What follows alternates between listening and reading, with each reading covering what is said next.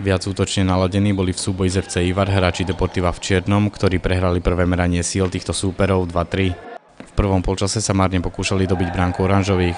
V 10. minúte sa mohli presadiť hráči FC Ivar.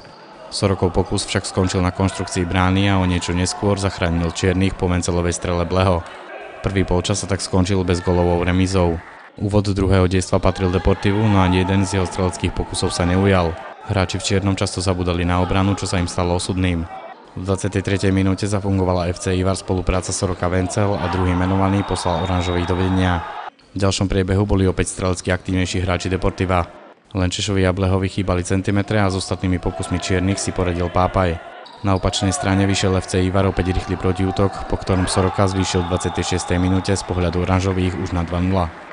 Deportivu sa z niekoľkých nasledujúcich pokusov predsa len podarilo streliť gól, no na postup to nestačilo. Hanák v poslednej minúte stanovil konečný výsledok. FC Ivar Deportivo 2-1. Ako prvý si tak finálovú miestenku zaistili po dvoch víťazstvách hráči FC Ivar.